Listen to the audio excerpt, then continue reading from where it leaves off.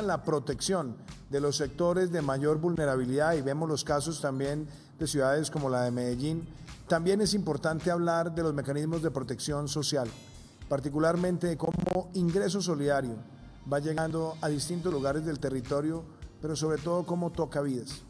Ingreso Solidario nació para enfrentar esta pandemia y le ha llegado a cerca de 2.600.000 familias. Seguimos creciendo para poder llegar rápidamente a esos 3 millones de beneficiarios.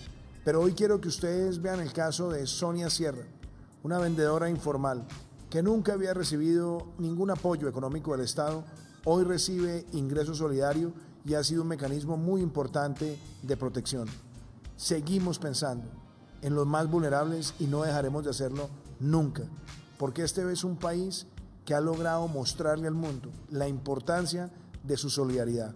Conozcamos a Sonia Sierra.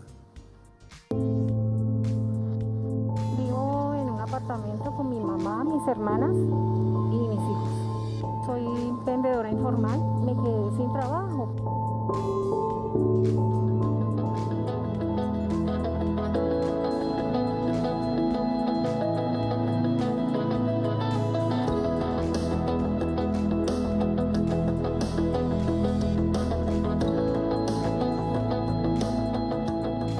Me enteré de lo del ingreso solidario por noticias.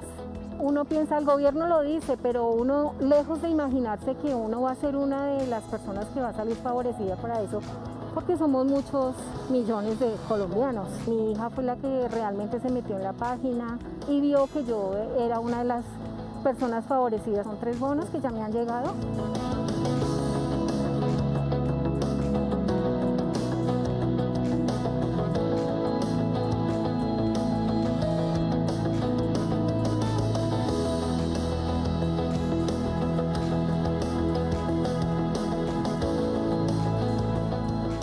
Fue mucho la sorpresa y me sorprende aún más, en mi caso que soy completamente desempleada, que lo extiendan, me parece fabuloso.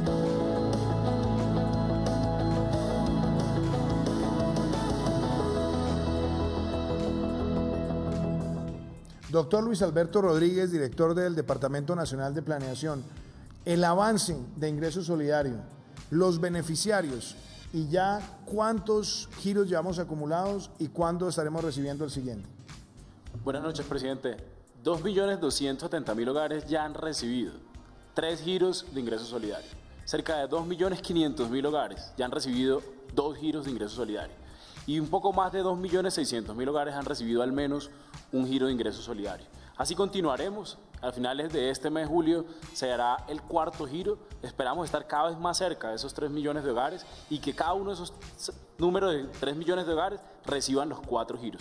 Recuerden que recientemente el presidente de la República anunció que el programa se extiende hasta diciembre. Recibirán no solo los tres que se han girado, no solo el que se está por girarse en este mes, sino que en cada uno de los meses que restan de aquí a fin de año recibirán 160 mil pesos esos hogares, no solo para que se mantengan, para que puedan mantenerse durante el aislamiento, sino para que también puedan conservar las expectativas y la esperanza en poder salir adelante.